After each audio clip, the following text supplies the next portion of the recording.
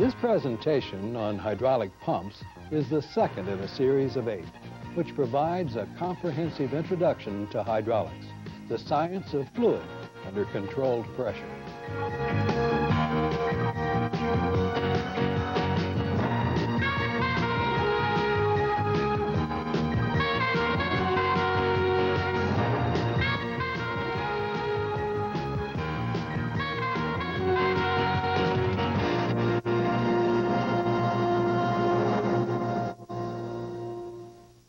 I'm Paul Cook for Sperry Vickers. Pumps fall into two basic categories, positive displacement and non-positive. Non-positive pumps are used primarily for circulating or transferring fluids. Examples would be the water pump on an automobile engine, or one used in a dishwasher or washing machine. Let's look at a schematic.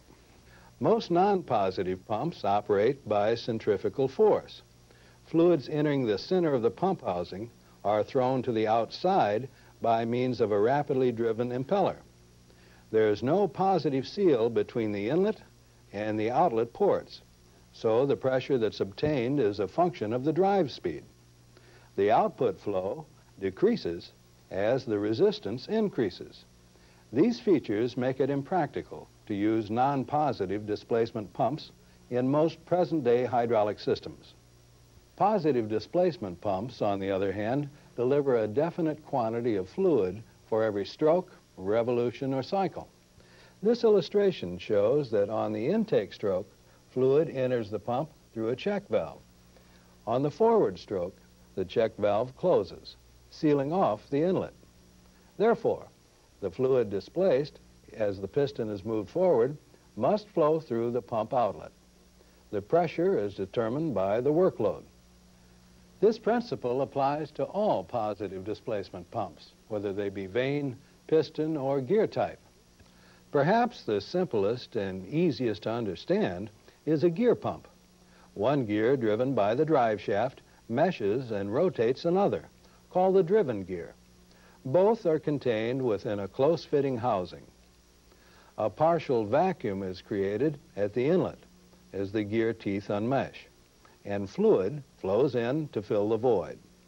Then the fluid is carried around the gears to the pump outlet. As the teeth go back into mesh, oil is forced out through the outlet port. As this operates, we now have high pressure at the outlet and less than atmospheric pressure at the inlet. This condition is referred to as unbalanced hydraulic loading. Gear pumps today are highly efficient units capable of operating at pressures of up to 3,000 psi and speeds in excess of 2,000 RPM. This performance is at least partially the result of the addition of bronze-faced flexible wear plates. These plates are pressure-loaded against the side faces of the gears, reducing clearance to a minimum. Passages in the wear plates also permit oil, under pressure, to extend farther around each gear to reduce the unbalanced hydraulic loading inherent in this type of pump. Sperry Vickers gear pumps range in size from 7 to 50 gallons per minute at 1200 RPM, although considerably higher drive speeds are permissible. They're available as both single and double units. Other manufacturers have gear pumps that are rated as high as 100 gallons per minute. Vane pumps seem to have been favored in the machine tool industry perhaps because of their high efficiency, low noise level, and long life. In an unbalanced vane pump, a slotted rotor is splined to the drive shaft and revolves inside a cam ring. Vanes are fitted into the rotor slots and follow the inner surface of the ring as the rotor turns. A minimum starting speed of 600 RPM will throw the vanes out.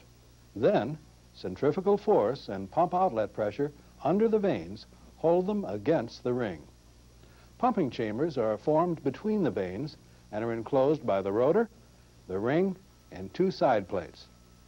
With the ring offset from the center line of the rotor, the chambers increase in size and take in fluid as they pass the pump inlet port. Then, as they cross over center, the chambers become progressively smaller and fluid is expelled at the pump outlet. This pump has a somewhat limited pressure capability because of its unbalanced hydraulic loading. Its displacement, however, can be varied or even be reduced to zero by moving the ring towards the center line of the rotor. Now, a balanced vane pump operates in the same manner as an unbalanced unit, the difference being that the inner contour of the ring is an ellipse rather than a circle. This configuration forms two sets of pumping chambers. They're on opposite sides of the rotor, but are interconnected through passages within the housing. Forces caused by pressure buildup on one side are canceled out by equal but opposite forces on the other. The displacement of a balanced design vane pump cannot be adjusted. However, interchangeable rings with different cam contours or widths are available, making it possible to quickly modify a pump to increase or decrease its delivery. Another modification we sometimes require is to reverse the drive shaft direction.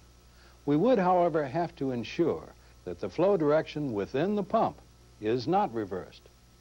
The key to this situation is in the repositioning of the ring so that the major diameter of the inner cam is rotated 90 degrees from its original position. By doing this, the pumping chambers will continue to increase in size as they pass the inlet porting and decrease at the outlet. Flow through the pump will then remain the same, even though drive shaft rotation has been reversed. Now, let's focus on three different types of balanced vane pumps Sperry Vickers currently manufactures. All are similar in operation, but differ in construction and pressure capabilities. We'll first discuss the pump patterned after the original model, patented by the company's founder, Mr. Harry Vickers, in 1925. Called the V104 series round pump, it has a replaceable pumping cartridge, which consists of a ring, rotor, and vanes sandwiched between two bronze bushings, each containing two inlet and two outlet ports. Hubs on the rotor fit into supporting hubs in the bushings, which serve as bearings. The drive shaft only requires a small pilot bearing in the pump cover and a somewhat larger one at the front to accommodate any minimal side loading.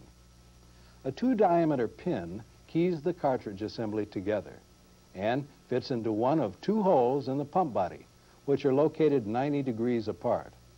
The hole that we select determines whether the pump is assembled for right or left-hand rotation. The pump cover serves as a clamp to hold the cartridge assembly together. Care must be exercised when tightening the cover bolts, as over-tightening may cause the pump to seize. Under-tightening will result in loss of efficiency. The V104 is an extremely quiet and efficient pump, but its pressure and drive speed limitations of 1,000 psi and 1,200 RPM limit its use in many of today's applications. So, where higher pressure and drive speeds are required, as in most mobile vehicle applications, the Sperry Vickers Model V20, or square pump, is more apt to be found. With permissible speeds up to 3,400 RPM and pressure capabilities of 2,500 psi, it's well suited to many vehicle applications.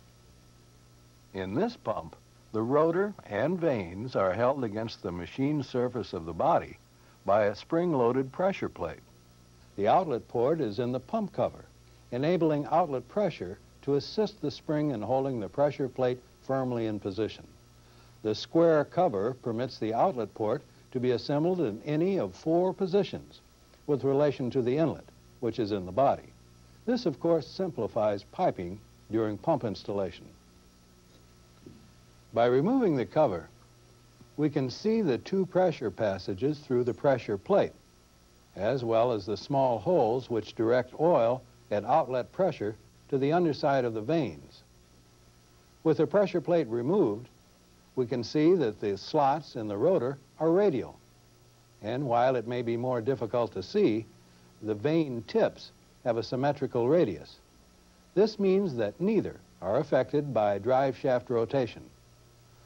Pump rotation is established by the position of the cam ring, removing the ring from the locating pins and replacing it with the opposite side facing the pump body automatically rotates the cam 90 degrees. And the pump may be driven in the opposite direction. Arrows on the ring indicate proper rotation. The varying sized holes in the ring are called overpass holes. They improve pump inlet conditions by permitting oil to flow into the cartridge from both the body and the pressure plate side. Reassembling the pump is equally simple. With pressure plate loading being a function of system pressure, it's only necessary to tighten the cover bolts to their specified torque. But don't forget the little spring and O-ring seals. Now we come to the third and final version, the Intravane series. This one is a truly high-performance unit with deliveries of 109 GPM and pressure to 2,500 PSI, 3,000 PSI in smaller units. It, too, is a cartridge-type pump, where the ring, rotor, and vanes are contained between a pressure and wear plate, held together by two small screws. These cartridges, incidentally, are available as pre-tested replacement units to speed pump overhaul and reduce downtime in the field. They're usually assembled for right hand, but can be reversed by reversing the ring, rotor, and vanes. The cartridge is accessible after removing the back cover, which in this case contains the pump inlet port. It may be necessary to grasp the cartridge firmly and give it a slight twist as you pull it out of the body. An O-ring seal and backup ring around the hub of the pressure plate prevent leakage into the shaft seal area, but also resist removal of the cartridge. Now then, you'll note something different when we examine the cartridge. The two previous pumps had solid vanes, and outlet pressure acted under their entire bottom surface to hold them firmly against the ring. In these pumps, with their large vanes and high pressures, the forces involved could reduce both ring and vane life due to high vane tip loading. Remember, force equals pressure times area. As a remedy, holes were drilled through each rotor segment, extending from its outer surface to the bottom of the vane slot ahead of it. By chamfering the tip of each vane, the pressure at the chamber behind it acted on both its top and bottom surface, keeping it in hydraulic balance. One further step was necessary to be sure that the vanes would follow the contour of the ring at high drive speeds. Now, this was accomplished by incorporating an intravane, or a small insert in each vane, and permitting outlet pressure to act in the small area between them. This pressure, plus centrifugal force, holds the vanes against the ring to assure proper tracking at any permissible speed. The intravane is used successfully in high-pressure machinery and in press circuits as well as mobile vehicles. To make it more compatible with the temperature extremes in which mobile units must operate, bronze-faced steel flex plates have been added to the cartridge assembly. They're much like and serve the same purpose as those mentioned previously in our discussion on gear pumps. Although interchangeable with the original Intravane cartridge, they're not required and unlikely to be used for machine tool application at the present time. Piston pumps, because of their high efficiency, high pressure, and high price, were used in aircraft and military applications, as well as in large hydraulic presses, where their cost could be justified. Today, however, simplified designs have lowered their costs while still retaining the beneficial features of piston-type units. As a result, they're being used in increasing numbers in both mobile and industrial applications. All piston pumps operate on the principle that a piston reciprocating in a bore will take in fluid as it's retracted and expel it on the forward stroke. Two basic designs are available, one known as a radial and the other an axial piston pump. A radial pump has pistons which reciprocate radially in a cylinder block, which rotates on a stationary pintle, and inside a circular reaction ring. Some force, usually charging pressure and or springs, holds the pistons out against the inner contour of the ring. With the ring offset from the center line of the cylinder block, the pistons reciprocate in their bores, taking in and expelling fluid through porting in the pintle. Moving the reaction ring will change the length of the piston travel, thereby varying the pump displacement and output flow. In axial pumps, the pistons are parallel to each other and to the cylinder block axis. They may be either bent axis or inline units. The cylinder block in a bent axis pump rotates at an angle to the drive shaft. The pistons are fastened to the drive shaft flange by ball joints and are forced in and out of their bores as the distance between the cylinder block and drive shaft flange changes. Pumps of this type may be fixed or variable displacement. The latter, with proper controls, will even reverse the direction of flow if the yoke is moved across center. The cylinder block of an inline pump fits over and is driven by splines on the drive shaft. The pistons fit into bores in the cylinder block and attached to shoes. The shoes, in turn, are held against an angled swash plate by a spring-loaded retractor ring. As the shaft and cylinder block are rotated, the pistons reciprocate in their bores as they follow the angle of the swash plate. In fixed displacement units, the swash plate angle is determined by a machined surface in the pump body and cannot be changed. Variable models have a movable yoke which holds the swash plate and permits it to be pivoted to any desired angle up to the maximum displacement of the pump.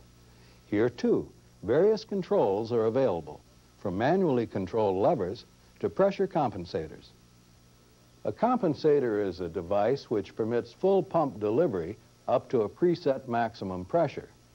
When this setting has been reached, a small spool valve shifts and directs fluid into a piston, which destrokes the pump reducing its output to only what is required to maintain pressure.